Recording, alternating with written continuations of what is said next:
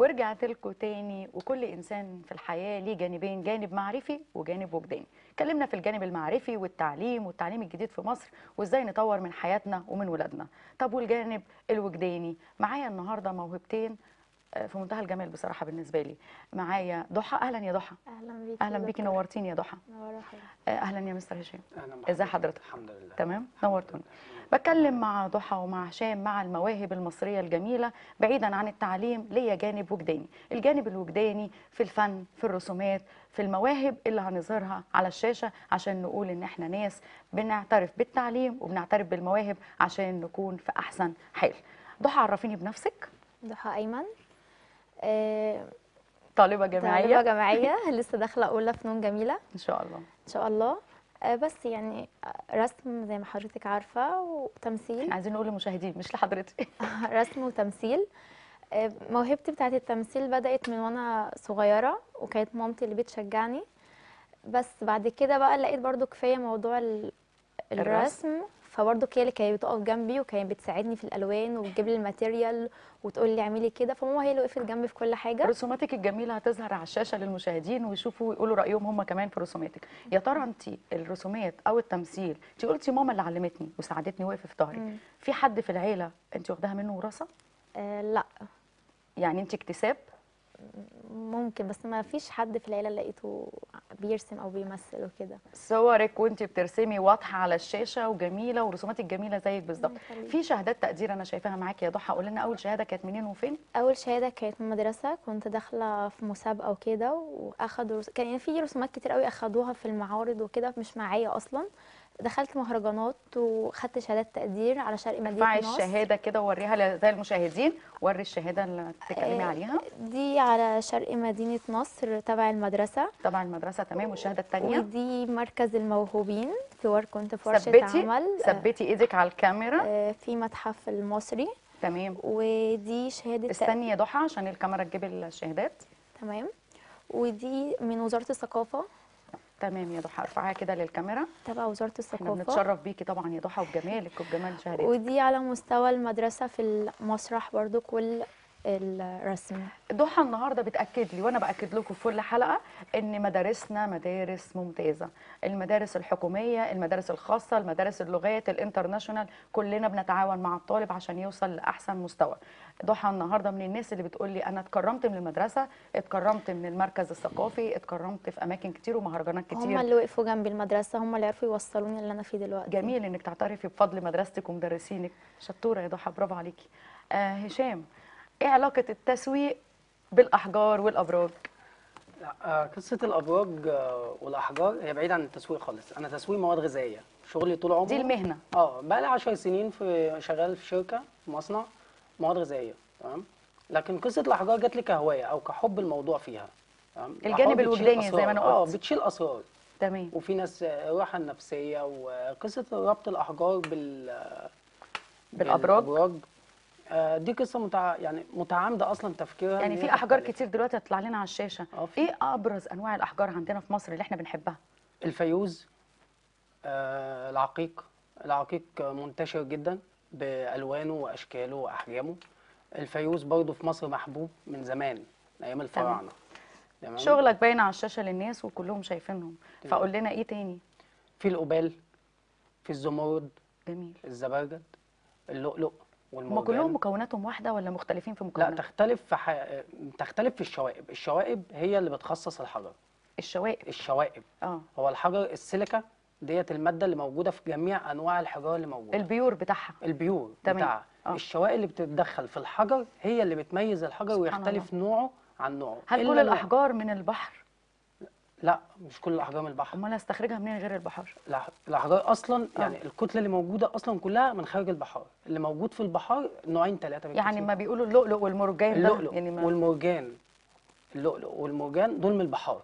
تمام؟ لكن الحاجات اللي على الشاشة جميلة قوي سبحان الله سبحان الله العظيم يعني. والسليماني أيوة. والفيروز والزمرد والزبردج والجمشت في أنواع كتير جدا من بره ال- البحار. والأشكال اللي أنا شايفاها دلوقتي على الشاشة جميلة جدا ومتداخلين مع بعض بطريقة سبحان الله. هو سبحان الله هو الحجر أصلا بيجي ككتلة كقطع زي من قطعة من الجبل. آه تمام؟ هو التشكيل هو اللي بيصنف الحجر. أنت قلت لي قبل الهوا إن في شخص هو اللي بيعمل الرسومات اللي جوه الحجر ولا أنا لا فهمت مش غلط؟ بيعمل الرسومات هو الحجر بينزل بطبيعة رسمه. تمام. في شخص اللي هو بيدور الحجر بيخلي الحجر مثلا على شكل الخاتم مدور آه. متوسط الرسمه موجودة لو أنا عايزاه في خاتم. عايزاه في سلسلة عايزاه في حلق والكلام ده. اسمه الحكاك. تمام. ده اللي بيحك شكل الحجر ده اللي اللي إحنا بنقول ينحت الحجر بشكل ينحت الحجر. معين بس هي عشان الشغلانة من زمان ده المسمى. بتاعها. تمام.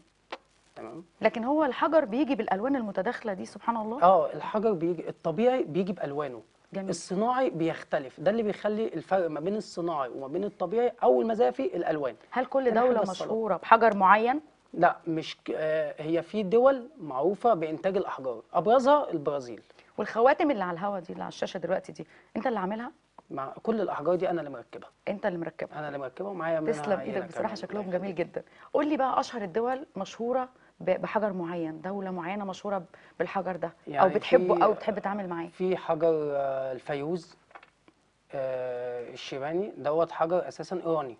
تمام. الحجر دوت موجود في إيران والأرجنتين. تمام. السعودية بتعترف بالكلام ده؟ آه طبعا. السعودية عندها أكبر كمية من العقيق والياقوت الأحمر.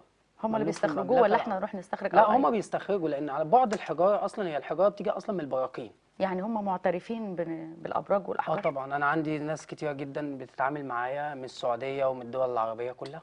أنا طبعا ما بفهمش في الدين. أنا في ناس في الدين هم اللي يردوا عليك. ولكن هل ده ضد الدين فعلا؟ لا هو أو مع- يناقض لا الدين. لا لا. الحجارة مذكورة في الدين. اللؤلؤ والمرجان مذكورين في الدين. طيب لو أنا قلت لك دلوقتي موجودة في موجودة في تاريخ النص. ميلاد تعرف تقول لي البرج وتقول لي الحجر اللي ينفع معاه يخلي حياتي فيها طاقة إيجابية؟ مش يغير لي حياتي لأن تغيير الحياة بالأقدار ربنا سبحانه طبعاً. وتعالى. ولكن ممكن يديني طاقة هو إيجابية؟ بصي في حاجة أنا عايز أوضحها. هو الحجر مش موضوع بيجيب إيجابية هو الحجر بيسحب سلبية. تمام. تمام؟ فبالتالي تفائلوا بالخير تجدوه. جميل. أنا عندي مثلا حجر ممكن ما يكونش اللي مناسب برجي بس أنا ذات نفسي بتفائل. بيه. بتفائل بيه. بحس بحبه. مرتاح في وأنا م- معاه. في راحه نفسية بيني وبينه. طب لو هو قلت ده تكوين الحجر. طلع البرج بتاعي وقول لي الحجر الكريم. برج. إيه؟ برج الجدي. برج الجدي الحجر بتاع حضرتك عقيق أحمر. العقيق حجر الأحمر. الحقيق العقيق الأحمر والفيوز ال- الأزرق. طيب يبقى- بيقول لك برج القوس.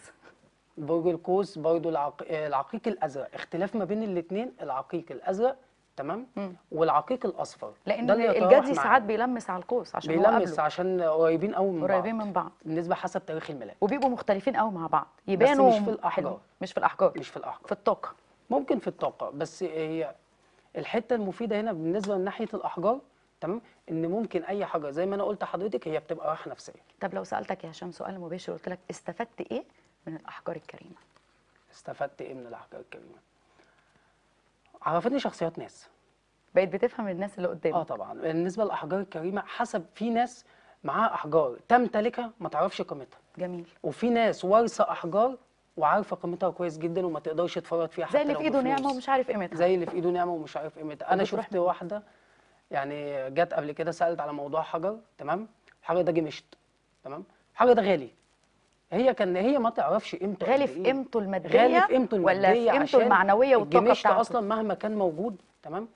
التفصيل بتاعه ذات نفسه ممكن يكون قليل. هو التصنيف والتفصيل والحجر ما هو الحجر دلوقتي أنا بيبان لي مثلا من كتلة الحجر تمام؟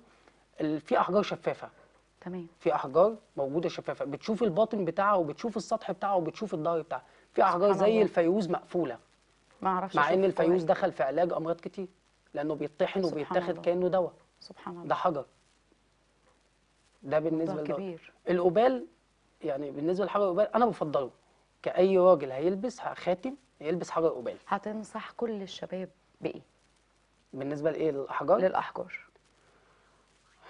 والله ده موضوع صعب لأن في ناس بتقتنع بيها وفي ناس لأ. يشتغلوا بس. ولا يشتغلوا ويشوفوا بيحبوا إيه وموهبتهم إيه. لا طب ما أنا شغال أهوت تمام؟ وعندي بدل موهبه الأحجار برضه بكتب شعر يعني لما تبقى أب إن شاء الله هتقول لابنك ما تلعبش كورة عشان بتضيع المذاكرة ولا هتسيبه؟ لا هسيبه. هتسيبه عشان أنت دلوقتي مؤمن إن الموهبة ليها أهمية في الحياة. طبعا ليها أهمية.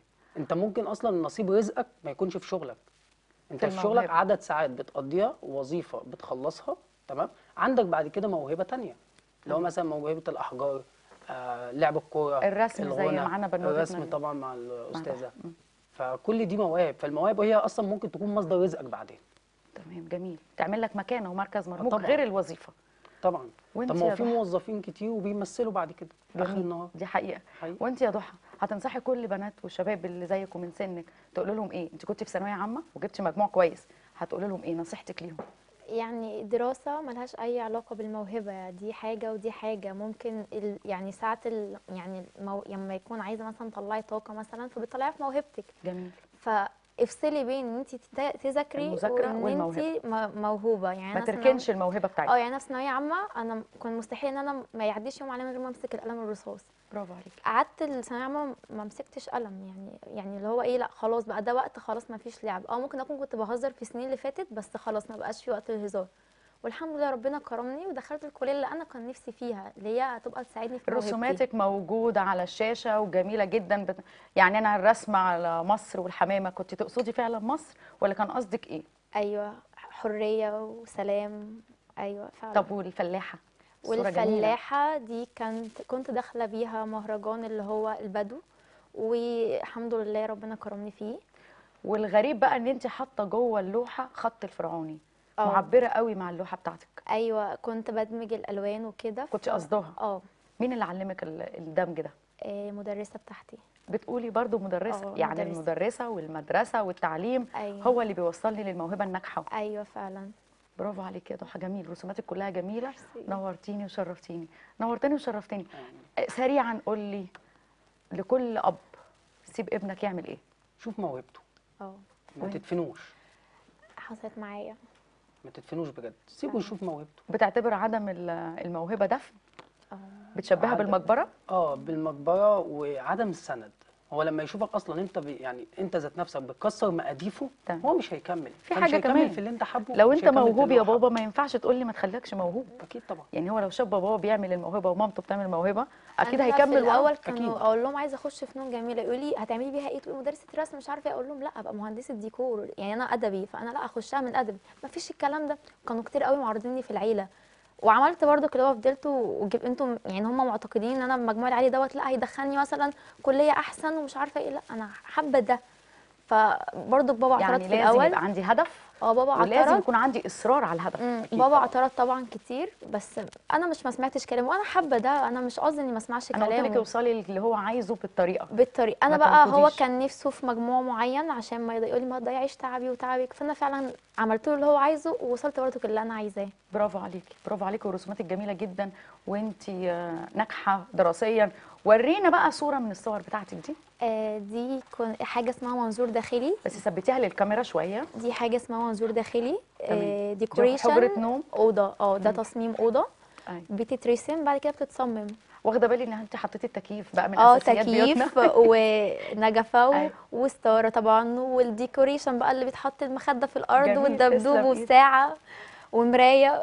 تسلم. إيدك برافو عليكي. ورينا آه، حاجة كمان. دي حاجة. ده بقى عمود فرعوني. كنت ثبتيها بس للكاميرا. كنت مسافرة أسوان فعجبني. آه خدت اللقطة جميل. قربيها وصممته للكاميرا شوية. برافو.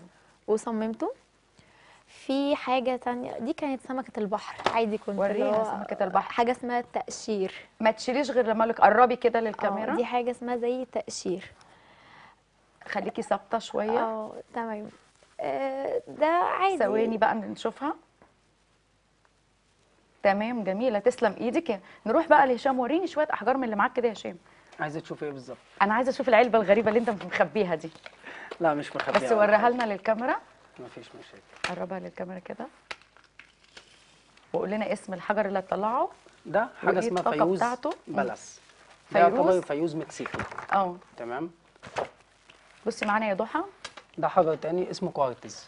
كوارتز كرر الاسم ده مرتين يا هشام عشان أنا بحب لا أنا ممكن على الدغ لا مش فممكن بتكلم على كده. آه لا أنا عايزه أسمع اسم الحجر ده كوارتز.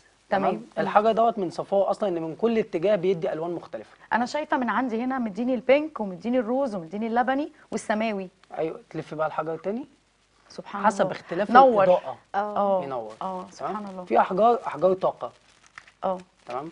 حجر الطاقة دوت يمتص طاقة الطاقة اللي حواليك من الإضاءة تمام؟ آه. موجود أهو. هو واضح خليه. لا لا عادي. ده الحجر تمام؟ ده بياخد الإضاءة. لو نقلت الحجر ده في أي حتة ضلمة دلوقتي بعد ما امتص من الإضاءة بتاعت الموجودة في المكان هتلاقي الحجر الحجر ده. نور فسفوري تمام. تمام؟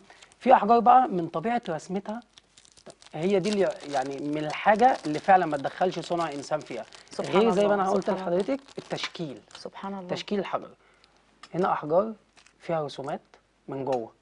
لازم كل حجر دوت يتفسر أنا عندي. حجر زي الزيت اللي في النص ده. ده؟ آه بيغمق مع حالتي النفسية وبيفتح مع حالتي النفسية. يعني أنا بلاحظها. وأنا في mood بيبقى غامق وأنا في mood تاني بيبقى فاتح. ده بيبقى بالنسبة لضغط الدم. بالظبط. ضغط الجسم ضغط الدم في الجسم. برافو عليك. ارتفاع الضغط وهبوط الضغط تمام؟ ده برضو الحجر بيتأثر بيه. أنت عارف إن هو كان بيديني إشارة إن أنا تعبانة أروح لدكتور أو لأ؟ ممكن ده أكيد. ليه؟ لأن الحجر عايش معاكي تمام؟ في بقى شغل اللي هو ده ده صناعي. امم أنت لو بصيتي للشغل الصناعي هو ده بقى الفرق طب وأنا أفرق إزاي بقى؟ أعرفهم إزاي؟ بيبان في قطعة الألوان. تقطيع الألوان. الحجر الطبيعي تمام؟ ده حجر أهو تمام؟ في تشكيل شجر من جوه. أنا حجر زي دوت ما بعتوش للوظيفة اللي أنا قلت لحضرتك عليها. الحكاك ما بعتوش يبوظه. خسارة. خسارة. أعمله على الشكل اللي هو فيه في. حاجات فيه هتتمسح. آه في حاجات فيه هتتشال. تمام؟ كل الأزرق ده صناعي. لا الأزرق ده بس اللي صناعي. ده اللي صناعي. آه. لكن كل ده طبيعي. عشان الرسومات يعني أنا أعرفه إن الرسومات بتاعته منمقة أو مرسومة هندسيا؟ لا الطبيعي مرسوم هندسي. سبحان الله. الطبيعي مرسوم هندسي إلا في حجاره التخصيص. التخصيص دوت زي حجر الياقوت والالماس آه. تمام؟ هو الالماس زي ما أنا قلت لحضرتك بيتكون من مادتين. ده عالم تاني خالص. السيليكا والكربون. آه. لكن أي حاجة تانية الشوائب اللي بتخش في تكوين الحجر في باطن الأرض أصل الحجارة دي مش على بعد مترين أو 3 متر من الأرض. أيوه. ده أقل مسافة ما بينها وما بين سطح الأرض 160 متر. لا إله إلا الله. ده اللي بيخليها تخرج من الأماكن اللي فيها براكين كتير. مم. دي الحجارة. في احجار تانية بيبقى عليها رسومات من رسومات موجودة من ظهرها. ورسومات موجودة. فيها احجار عليها فيها احجار عليها شجر. حجر زي ده. جميل. عليه عصفورة بتاكل من العش بتاعها. سبحان الله. حجر زي ده كلامك ده جميل عقيق. وأحجارك جميلة ووقتك مشي بسرعة أنت وضحى لأنها حاجات فعلا جميلة والوقت الجميل بيخلص بسرعة آه للأوقات الجميلة بقية هنتقابل تاني أكيد. عشان نعرف الناس إن إحنا ناس حلوة وناس جميلة والمصريين أجدع ناس في الدنيا سواء بنت أو ولد أكيد سواء طبعاً. ست أو راجل شاب أو شابة آه أعزائي المشاهدين ولنا لقاء آخر مع 50 دقيقة حياة دمتم بخير السلام عليكم ورحمة الله وبركاته